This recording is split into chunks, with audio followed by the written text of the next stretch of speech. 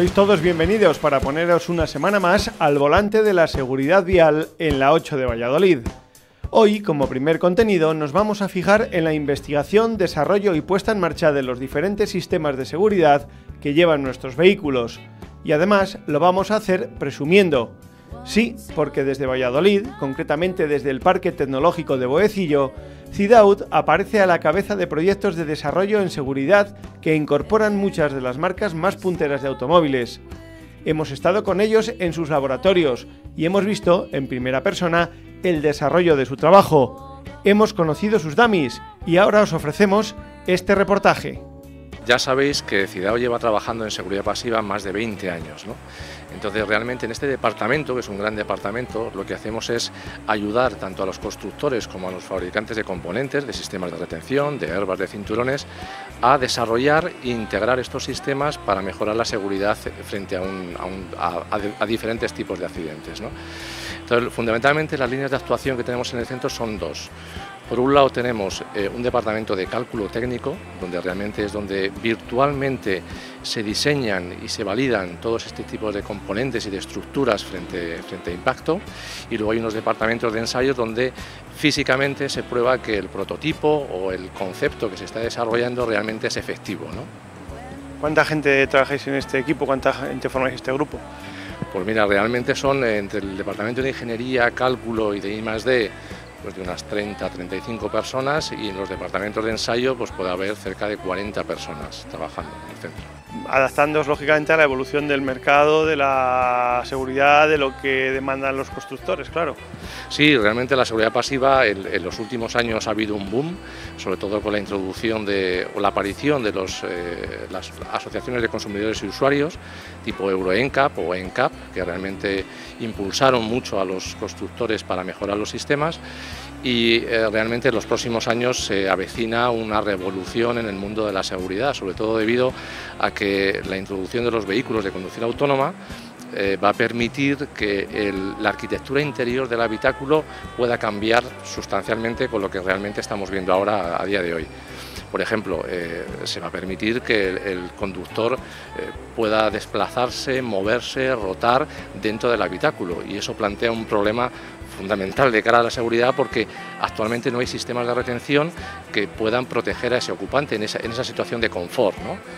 Entonces hay un campo tremendo abierto ahora y toda la industria y los centros de investigación estamos volcados en ello, sobre todo a nivel pues, eh, para determinar qué tipo de situaciones van a poder permitirse a ese nuevo conductor. Eh, qué tipo de normativa va, a haber que desarrollar para chequear que, sigue siendo seguro y que el vehículo eh, sigue manteniendo el mismo nivel de seguridad. Y bueno, a nivel de, constructores y de fabricantes se abre un campo tremendo pues porque se tendrán que desarrollar nuevos airbags, nuevos sistemas de retención, nuevos conceptos eh, para crear este nuevo habitáculo o este nuevo salón que va a ser el, vehículo en los próximos años y para ello hay que decirlo y además poder presumir que CIDAUD está a la, vanguardia pilotando ese tipo de proyectos, ¿no?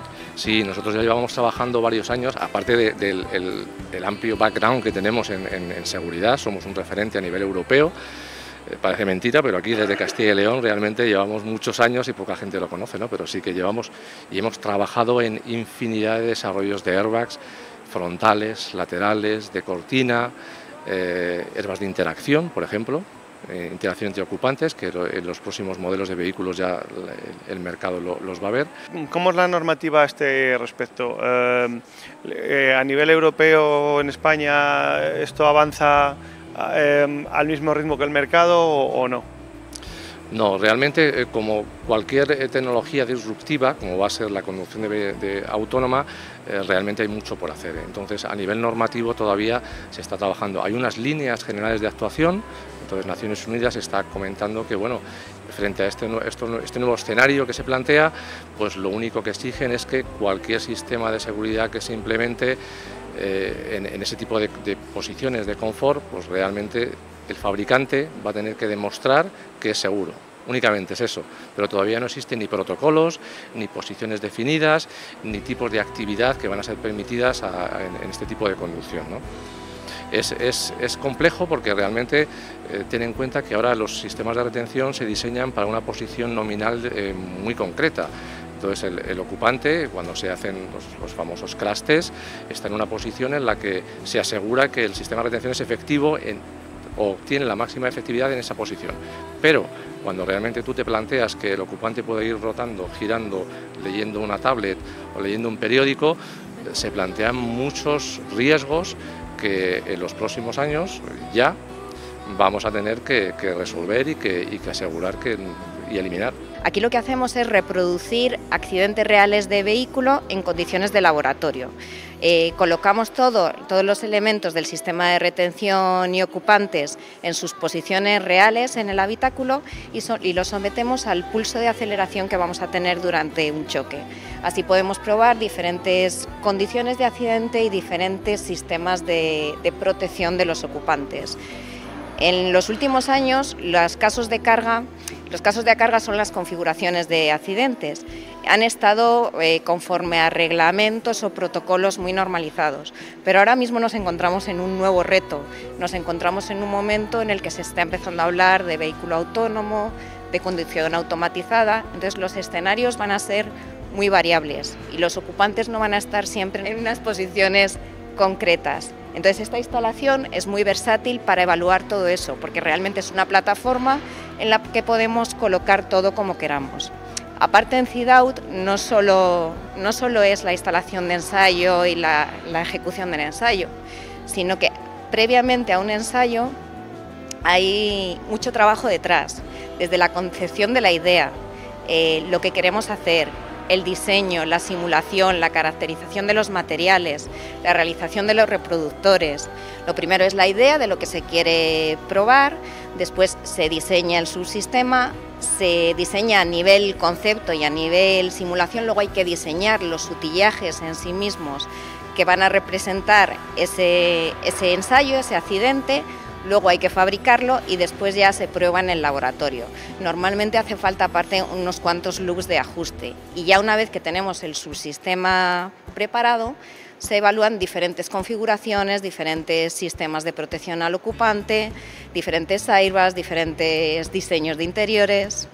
Claro, porque lo que hablábamos, eh, eh, yendo a esa conducción autónoma que, viene, eh, ahora estamos acostumbrados a ver los ensayos para los conductores y los pasajeros sentados en el sentido de la marcha, pero si esto evoluciona como parece, llegará el día en el que los ocupantes del vehículo puedan ir tranquilamente de tertulia, leyendo y sin prestar atención a la carretera, ¿no? en cualquier otra posición. Eso es, se prevé una primera fase en la que a lo mejor el conductor esté un poco más relajado, un poco más separado, con una tablet, con un libro, con un periódico, y posteriormente una segunda fase con niveles de automatización más, más altos, en las que, como comentas, los ocupantes dentro del vehículo pueden estar en posiciones aleatorias, aleatorias tal vez, no sabemos el nivel de normalización y de estandarización al que se va a llegar. En cualquier caso, aquí tenemos la herramienta para probar las configuraciones que, sean necesarias y estamos trabajando en diferentes conceptos ahora mismo. Em, por hacernos una idea, para que la gente que nos ve se haga una idea de la importancia del trabajo que hacéis aquí, em, cabe destacar, yo creo que además hay que decirlo y hay que presumir que sois un centro de referencia a nivel europeo, que trabajáis, no hace falta decir las marcas, pero que trabajáis con, marcas premium de vehículos mm, eh, número uno en el mercado, vaya. Es así y no es porque lo diga yo que trabajo aquí, sino que es la verdad. Es la verdad, nosotros trabajamos y estamos en la región con fabricantes de vehículos de primer nivel. Nosotros trabajamos para el desarrollo de vehículos actuales y futuros de primer nivel y es algo realmente poco conocido. Vamos a hablar de los, eh, de los dummies, de este que tenemos aquí detrás, que nos mostrabas antes. Eh, la evolución de los de antes, de los que tenéis hace poquito, hasta estos, lógicamente adaptándolos a las necesidades de las pruebas. Evidentemente, cuando nosotros comparamos los resultados de un vehículo de hace varios años con los resultados de las pruebas de un vehículo actual, eh, la comparación es incorrecta porque las herramientas que se han utilizado no son las mismas. El dummy que tenemos aquí detrás es bastante más biofiel y bastante más preciso que su predecesor. Este es el Warsi 50, es un maniquí de impacto lateral. El anterior, que era el Euroseed 2, es un dummy mucho menos biofiel. Biofiel es que es representativo de un cuerpo humano con muchos menos puntos de medición, mucho menos sensible. Mucho menos sensible me refiero a que es menos preciso, que si tú comprimes una costilla, el, nivel de desplazamiento que vas a tener no va a ser el mismo. El otro Dami era mucho más robusto, aguanta muchos más impactos, pero este es mucho más sensitivo y mucho más biofiel. Decís pruebas de adulto, pruebas de niños, eh, todo tipo de pruebas, claro, dentro del habitáculo, en el supuesto de casos reales. Sí, se evalúan diferentes percentiles de ocupantes. Los este que tenemos aquí detrás, por ejemplo, es un 50% percentil. Un 50% percentil es que el 50% de la población se encuentra por debajo de su masa y dimensiones, pero se evalúan también 5 percentil, 95 percentil y niños de 10 años, de 6 años.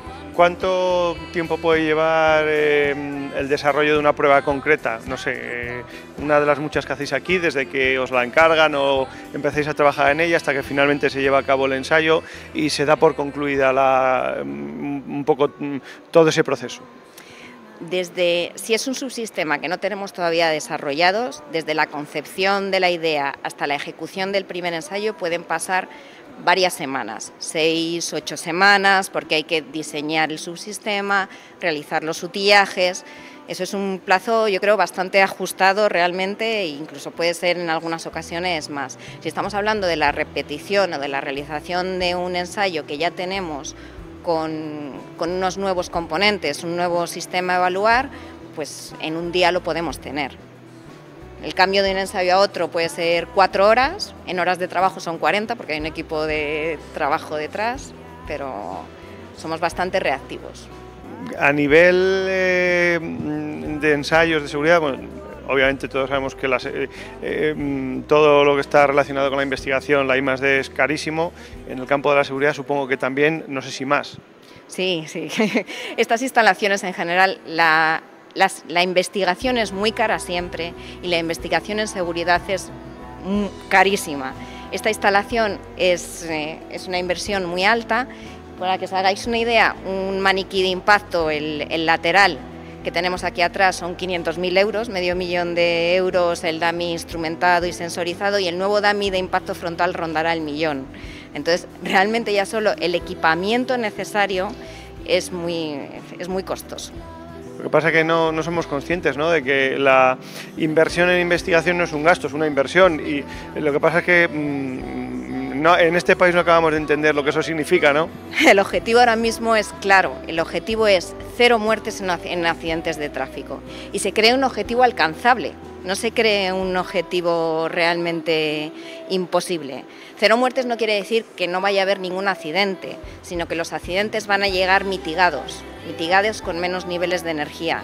Y el objetivo final y el objetivo por el que se está luchando ahora es cero. Lo que pasa es que eso es una inversión costosísima y a largo plazo, imagino, claro. Eso es una inversión que luego nos vamos a ahorrar todos en nuestra salud en nuestra salud, en nuestra calidad de vida y en nuestra longevidad. Además hay algo de lo que nunca se habla y, es una cosa que estaría bien compararlo y quizá hacerlo público, pero el nivel de inversión que requiere la investigación al nivel de gasto que ocasionan los tratamientos médicos por accidentes de tráfico, mm, igual nos asustamos y vemos la diferencia, ¿no? Yo no tengo los números exactamente, pero desde luego que habría que ponerse en ese objetivo, decir, venga, eh, hemos mitigado ya, no digo el cero, el objetivo final es cero, eso está claro. Pero venga, una mitigación de un 20% en las lesiones, ¿qué ahorros suponen costes médicos? Y podemos ir más allá para que veamos realmente eh, si la inversión compensa o no. Compensa, por supuesto, a nivel humano, porque la pérdida de una vida humana mm, no se puede medir en dinero, pero si lo bajamos a términos económicos también compensa, por supuesto. Lo importante no es lo que somos capaces de hacer, sino cómo te hacemos sentir. Talleres Carmelo, Centro de Reparación del Automóvil. ¿Está el mundo preparado para un vehículo que se pueda conducir a sí mismo? ¿Está preparado para comprender que la conducción autónoma protege tanto al pasajero como al peatón? Llega el nuevo Clase E, el coche que incorpora los sistemas de seguridad y asistencia que hacen que el futuro de la conducción autónoma empiece hoy. Nuevo clase E. Inteligencia al servicio de las emociones. Mercedes-Benz, the best or nothing. En Desguace Escano tenemos toda clase de recambios para tu vehículo. Ven a vernos o si lo prefieres, visita nuestra tienda online. Compramos todo tipo de vehículos en cualquier estado y tramitamos la baja en el momento y de manera totalmente gratuita. Desguace Escano, tu desguace de confianza desde 1979. Eilomotor, tu concesionario oficial Nissan en Valladolid, donde podrás ver, probar y comprar cualquiera de nuestros modelos. Más de 5.000 metros cuadrados de postventa donde podrás realizar los mantenimientos de tu coche y con sección de chapa y pintura multimarca para reparar tu vehículo con total garantía. Eilomotor, ven a conocernos. Estamos en Avenida de Gijón número 92, Valladolid.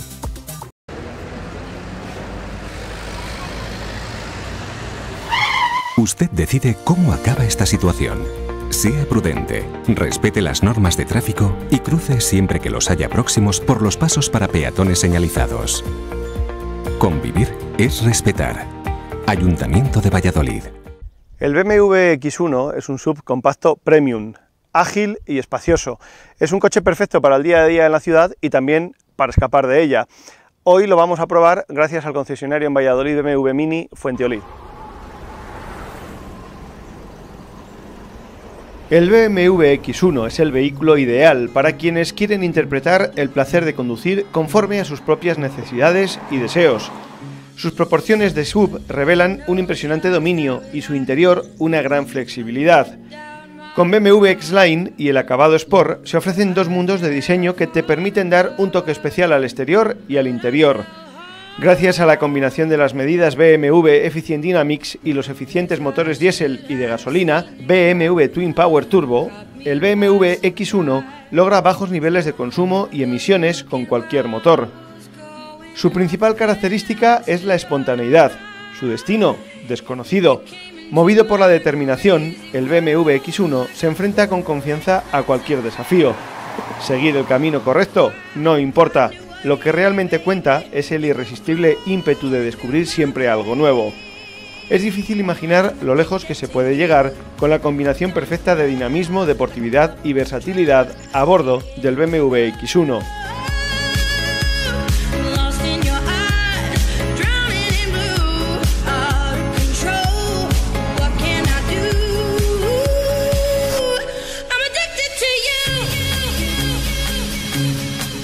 Ofrece máxima visibilidad, ya que la posición elevada del asiento del X1 no solo facilita el acceso, sino que permite tener todo a la vista. Además, el exterior indica que se trata de un auténtico X. Frontal llamativo, parrilla BMW y faros LED opcionales. El BMW X1 no deja lugar a dudas, la aventura está garantizada.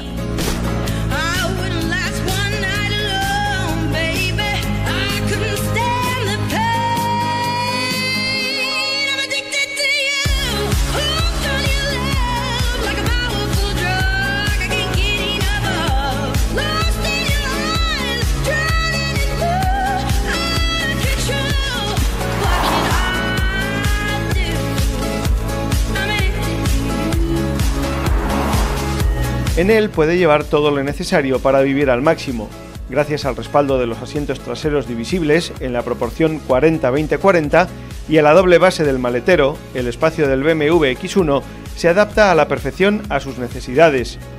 Este vehículo ofrece la solución perfecta también en cuanto a espacio para las piernas en las plazas traseras y capacidad del maletero. Una banqueta trasera con la opción de desplazamiento longitudinal y con los selectos materiales de acabado impecable y las formas X, percibirá la exclusividad en cada detalle.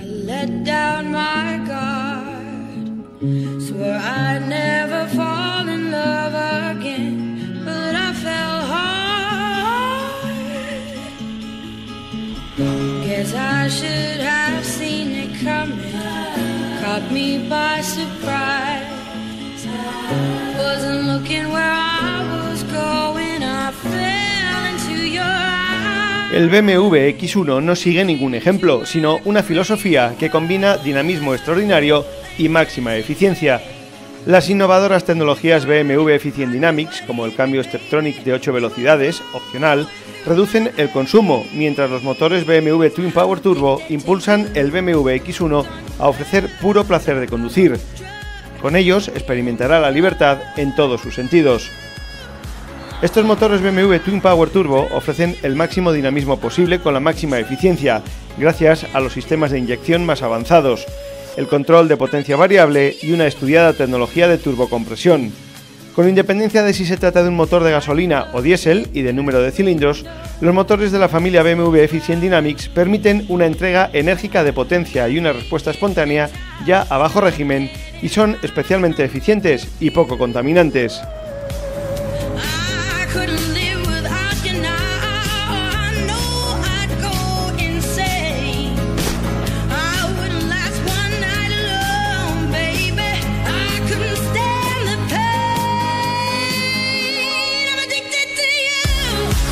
Nosotros hemos probado el S-Drive 1.8 inyección, un motor de gasolina de 3 cilindros BMW Twin Power Turbo de 140 caballos y un par de 220 Nm, con una aceleración de 0 a 100 en 9,6 segundos, una velocidad máxima de 205 km a la hora y un consumo promedio declarado de 5,6 litros a los 100, aunque a nosotros nos ha salido algo más elevado. Será la falta de costumbre.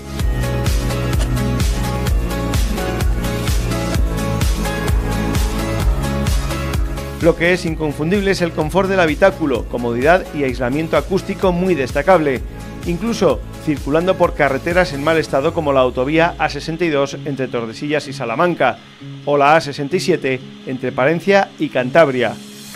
Otro día, por cierto, hablaremos del estado de abandono de estas vías, porque hoy lo que nos toca es evaluar este BMW X1.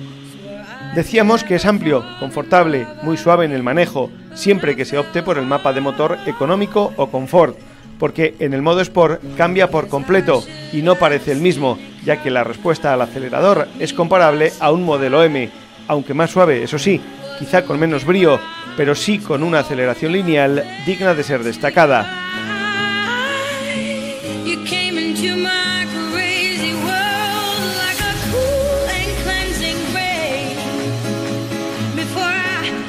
En resumen, que este BMW X1, que está a partir de 30.000 euros en el concesionario Fuenteolid, se ofrece en una variada gama de motores, sistemas de tracción y cajas de cambio. Este todo camino compacto mide 4,44 metros de longitud y fue renovado completamente en 2015. Es menos estilizado que su predecesor, también es más alto. Esto sin duda redunda en una mayor habitabilidad en el interior, muy mejorada con respecto al X1 de la primera generación. El maletero tiene 505 litros de capacidad y destaca fundamentalmente por una mejora notable en las calidades interiores y en el equipamiento de seguridad activa. Un coche, por tanto, muy recomendable.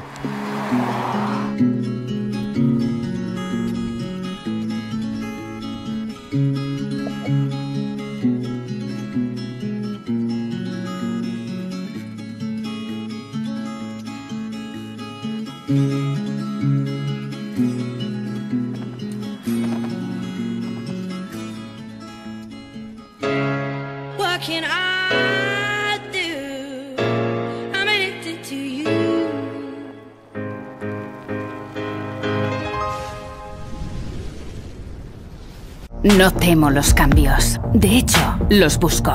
No temo a las curvas, ni a las alturas, ni a equivocarme. No temo al agua ni al asfalto. No temo absolutamente a nada, porque lo tengo todo. BMW X1. Desde 13 euros al día con todos los servicios incluidos y sin entrada. ¿Te gusta conducir? Eres tú quien sabe cómo sentirse seguro. Y tú quien puede convertir un no en un por qué no. La diferencia Pelayo está en ofrecerte productos pensados para ti, porque solo tú eres como eres. La diferencia Pelayo, nuestra forma de entender los seguros. Neumáticos Esgueva.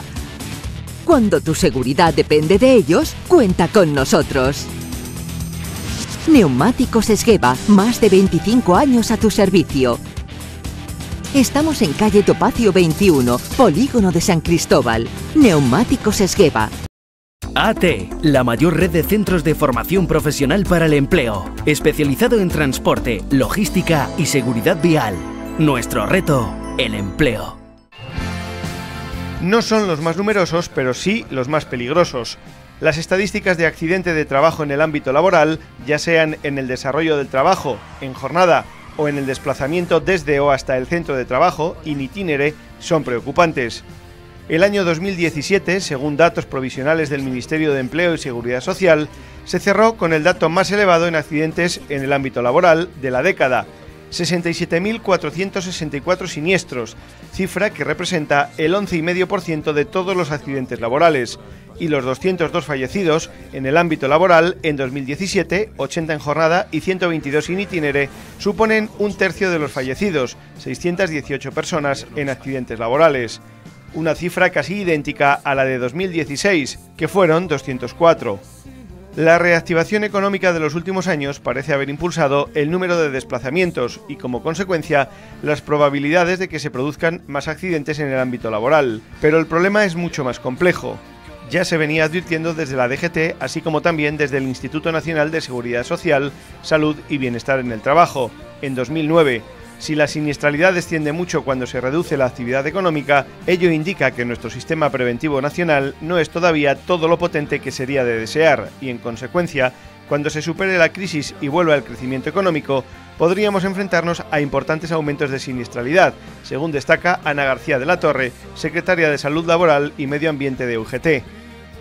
Queda mucho por hacer, dicen que estamos empezando a introducir la cultura preventiva de la seguridad vial en las empresas, que ya debería estar mucho más desarrollada.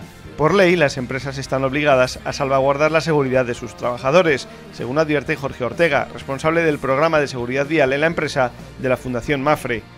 Y en efecto, la Ley de Prevención de Riesgos Laborales de 1995 dice textualmente las empresas deben velar por la seguridad de los trabajadores a su servicio durante la jornada laboral, garantizando su seguridad y salud en todos los aspectos relacionados con el trabajo. Sin embargo, la realidad es que la seguridad vial ha estado fuera de los planes de prevención de riesgos laborales hasta hace pocos años y aún muchas empresas carecen de ellos, según dice Mónica Colás, subdirectora general de la Dirección General de Tráfico. Por ello, desde la DGT se viene haciendo mucho en este campo y cada vez son más las empresas que incluyen planes de seguridad vial, según subraya Colás. Aquí ya os hemos hablado en anteriores ocasiones de los que organiza e imparte Academia del Transportista y estuvimos en uno de ellos junto a Michelin, que desde hace largo tiempo viene realizando estos cursos para sus trabajadores. En la empresa hemos decidido que la mayor parte de, nuestro, de nuestros equipos pues vayan siendo cada vez más sensibles a los riesgos que entraña esta movilidad que empujamos y no todo aunque es muy importante, los neumáticos, evidentemente no todo se basa en eso. Nuestros comportamientos ante una situación extrema es muy importante y eso hay que entrenar. Lo que está claro es que estas cosas no las llevas en tu ADN si no lo has vivido y hay que entrenarlos y de eso se trata hoy, de que sepamos cuál es el comportamiento que hay que tener en estas situaciones extremas. Hay cosas que son un poco intuitivas y tienes un acto reflejo un tanto natural, pero hay otras cosas, como nos, nos explican, que hay que hacer justo lo contrario de, que, de lo que tu raciocinio te, te dice. Y eso es lo difícil. Por eso hay que entrenarlo. Hay ocasiones en las que para evitar el accidente hay que saber soltar el freno porque es el, el mecanismo para conservar la trazada o hacer la trazada que tú quieres. Y eso no es tan evidente. Lo lógico es aferrarte al freno, seguir empujando el freno y, es por eso que animo a hacer este tipo de, prácticas, este tipo de, de, formaciones, porque hay cosas que no son lo que habitualmente uno está acostumbrado a hacer. Y evidentemente la seguridad de nuestras personas es tanto dentro de la fábrica como fuera en itinere, en los desplazamientos, y por lo tanto todo lo que se haga en este sentido es fundamental, evidentemente. Para completar los ángulos muertos de la Ley de Prevención de Riesgos Laborales, en 2007 se acordó la Estrategia Española de Seguridad y Salud en el Trabajo 2007-2012, renovada para 2015-2020, con objetivos y líneas de actuación específicos en materia de tráfico, además de instar a los poderes públicos a prestar especial atención a los riesgos asociados a la movilidad, con incidencia en los accidentes in itinere y en misión. Supuso, por ejemplo, la publicación de informes anuales estadísticos sobre accidentes en el ámbito laboral por el Instituto de la Seguridad Social, entendiendo que el primer paso para remediar estos accidentes era conocerlos en profundidad. También se establecieron incentivos en las cuotas por contingencias profesionales a las empresas que alcancen índices de siniestralidad por debajo del promedio del sector.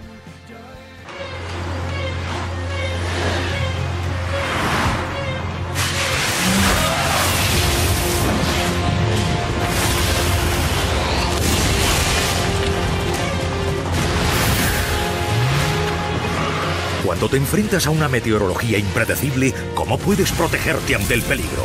Michelin ha creado Cross Climate, el primer neumático capaz de hacer frente a condiciones meteorológicas cambiantes gracias a sus prestaciones revolucionarias.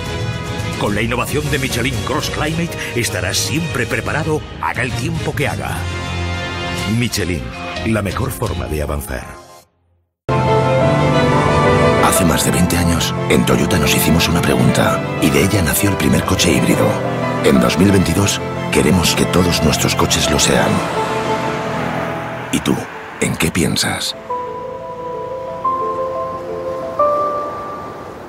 Lo importante no es lo que somos capaces de hacer, sino cómo te hacemos sentir. Talleres Carmelo, Centro de Reparación del Automóvil. Tubasa, concesionario oficial Mitsubishi y Subaru para Valladolid.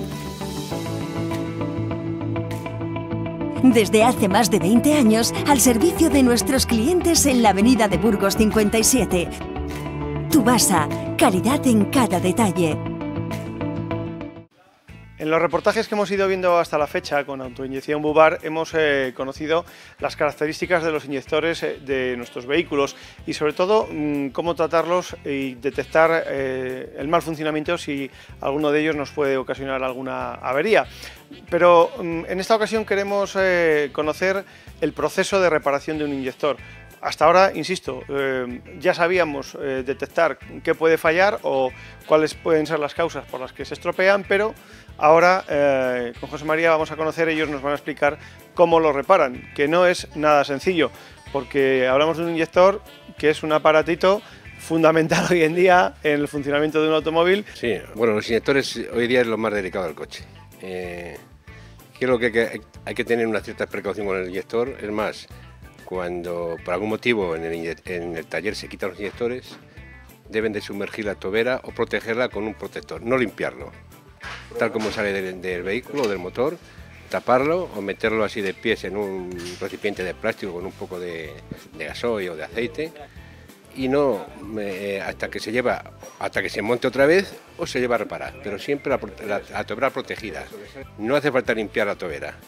Nosotros cuando llega aquí el inyector, lo primero que hacemos es meterle en ultrasonidos para limpiar la carbonilla que tiene la tobera, con el fin de poder probar en el banco y que no nos manche la cédula de medición.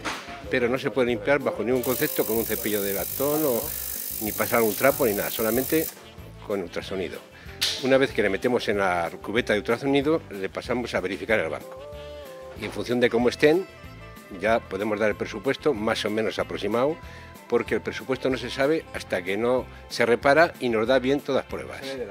Que hay veces que con la tobera se soluciona, hay veces que hay que poner más piezas pero hasta que no termina del banco no podemos dar el presupuesto.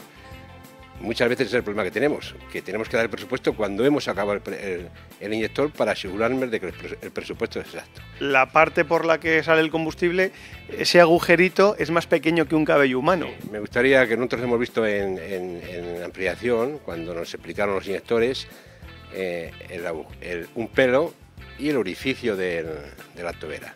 Es más pequeño, bastante más pequeño y después de que lo sometéis a las pruebas en el banco y ya se detecta si ya simplemente ha quedado limpio con el ultrasonido o hay que seguir reparándolo, si hay que seguir reparándolo, ¿qué, se le hace? ¿Cuál sería un poco la mecánica? la mecánica es, eh, eh, en función de lo que dé, si da bien todas las pruebas, no le decimos que está bien. Algunas veces, por depende del problema que tenga el coche, le podemos desarmar a ver si vemos alguna cosa anormal, porque hay veces que, como los códigos hay veces que salen esporádicos, pues tenemos que ver a ver si tiene algún síntoma visualmente, a ver si tiene algún defecto. Pero lo que dice, lo, que vale es lo que dice el banco, por lo menos los valores. Entonces, si está bien, no le desarmamos, ¿eh? no, no conviene manipularle mucho, a no ser que sea necesario. El inyector puede tener varias averías, puede tener exceso de sobrante que mm, va, eh, eso perjudica la presión de raíz. Si tiene mucho sobrante y la bomba no tiene capacidad para absorber esas fugas, pues te da código de presión. En ese caso puede ser inyector, pero en otros casos eh, a lo mejor es la bomba o a lo mejor es una fuga de, que tengas por otro, por otro motivo en el raíl. O sea, hay veces que tienes un código de presión y lo más fácil o lo más rápido es verificar los inyectores. Por lo menos si te da un código de presión, que es una pieza que se quita y el coste no es muy grande. No es igual que tienes, tienes que quitar la bomba o tienes que emplear muchas horas para ver si no lo ves muy claro. Entonces cuando se, se mete en el banco y vemos que los valores, pues ya aconsejamos al taller lo que se debe hacer o lo que se tiene que hacer. Vosotros habéis invertido mucho en tener eh, dentro del banco mm, específico para cada marca, porque luego tiene que ser así para que os lo verifiquen esa reparación y que luego pueda seguir utilizándose. Nosotros, tanto los de Bosch como los de Delphi y Sieme, eh, oficialmente tenemos las máquinas que nos pide el fabricante. Es más, Bosch tiene un sistema que eh, nosotros reparamos el inyector, por los inyectores se meten en el banco, se mete la, referencia del inyector y el número de serie y se empieza a verificar y a comprobar. Si el inyector está bien, hay una opción que nos da, que normalmente lo hacemos a muchos inyectores, eh, damos a un, programa, automáticamente se queda grabado, pasa directamente a un banco de datos que va a estar en contacto con Alemania y nos saca una pegatina con un código de barras. Ese código de barras tú, en el, tú te lo puedes bajar a internet el programa, tú si, pones el, el teléfono puedes leer el código de barras y te dice cuándo se ha fabricado, cuándo se ha reparado ese inyector en qué sitio y también hay posibilidad de poner qué piezas están puesto. Eso está puesto con el fin de que tenga garantía. Tenga garantía y el fabricante también quiere que cuando tú repares un inyector con su marca y amparado en su recambio, eh, tengas algo para demostrar que cómo lo has hecho. Claro, aquí hablamos de recambios originales, piezas originales y con una trazabilidad desde la fábrica hasta la reparación. Aquí se cambia todo con, eh, con recambio original a no ser que a un determinado inyector no hay tobera, tienes opción a, poner un inyector nuevo ¿eh? o de intercambio de la casa si es que le hay. Hay toberas que fabrica Delphi para un inyector Sieme, que la puedes montar, si tú tienes el programa de, ese inyector, le verificas y te puedes dar garantía. En toberas hay cantidad de toberas, cantidad de marcas, pero hay una serie de marcas que te ofrecen garantía, porque una tobera aparentemente son todas iguales. Es más, hay piezas de un inyector que si coges la original y coges otra que no es original, las mm, visualmente no, no, puedes demostrar cuál es una y cuál es otra porque son exactamente iguales. Aquí en este banco de pruebas lo, que, lo primero que hacemos es el desmontaje del inyector porque hay que limpiar todas las piezas muy bien, muy bien limpias, tienen que estar perfectamente eh, sin polvo, sin, motas de nada entonces lo primero que hacemos es desmontar el inyector. Aquí como le veis ya les tenemos, tenemos dos desmontados con todas sus piezas, todas las arandelas de calibración. Entonces lo que haríamos es ya con el inyector desmontado entero, iríamos a la, cubeta de ultrasonidos y allí quedaría unos 10-15 minutos eh, hasta que se limpia todo y, queda totalmente, totalmente limpio. Tiene que estar totalmente limpio. De allí, ya una vez limpio, soplaríamos todas las piezas. Muy bien, muy bien, muy bien. Por eso lo hacemos en esta sala, porque está acondicionada para que todo esté muy limpio y no haya nada de suciedad. Y procederíamos al montaje del inyector. Una vez montado el inyector, con todas sus arandelas de calibración, pasaríamos a este otro banco. Y aquí lo que se hace es regular la cota. Eh, la cota H la llaman, que es eh, es una, medida fundamental para, todos los caudales del inyector. Entonces aquí voy a hacer cómo se comprobaría la cota. Pondríamos este útil aquí. Entonces se pone un reloj que mide micras.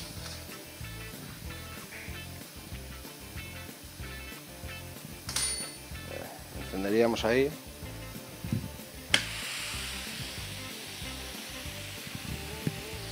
le pondríamos la referencia del inyector. Este inyector es el 0445 110 Todos estos son inyectores, eh, distintos inyectores que montan todos los vehículos. Entonces aquí en este inyector, por ejemplo, tendríamos que poner la fuerza que nos manda, que nos manda el programa, ajustando con este aparato y le daríamos la activación del inyector. Y ahí quedaría lo que nos está dando el propio inyector, la cota que nos está dando. Entonces la metemos en el programa y ahí diría que está muy baja. Entonces habría que ajustarla con diferentes arandelas, con todas estas piezas de arandelas que hay aquí. Y así hasta ajustarla y quedarla dentro de su sitio. Este inyector, por ejemplo,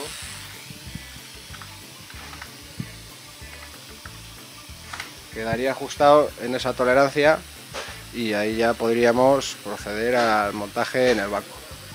vosotros trabajáis con equivalencias milimétricas, ¿no? ¿no? No puede ser de otra manera. Muy finas, muy finas. Son, son micras, o sea que son, tiene que ser al milímetro al milímetro, porque de este inyector es la pieza yo creo más importante ahora mismo en el vehículo. Autoinyección Bubar. Reparamos todo tipo de sistemas de inyección diésel y turbos. Disponemos de maquinaria homologada para diagnóstico, comprobación y reparación de equipos de nueva tecnología. Técnicos especializados en inyección y turbos de turismos, vehículos industriales, maquinaria agrícola, de obras. Estamos en carretera Salamanca, kilómetro 129.